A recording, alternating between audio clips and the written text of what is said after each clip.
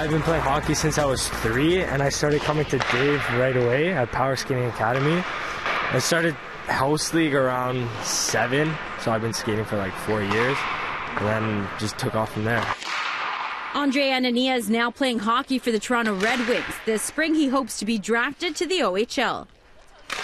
I like being physical in the corners, winning puck battles, and like what helps me the most is like my skating ability to get away from guys, and also like my hockey IQ and passing skills.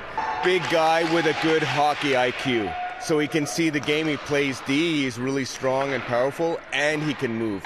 So he can play a defensive game and he can play an offensive game he's really working on his skating, and his game is like, you know, taking off, exploding right now.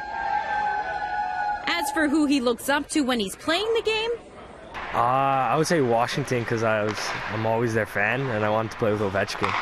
Congratulations, you're this week's athlete of the week. If you know an outstanding athlete, here's how to contact us.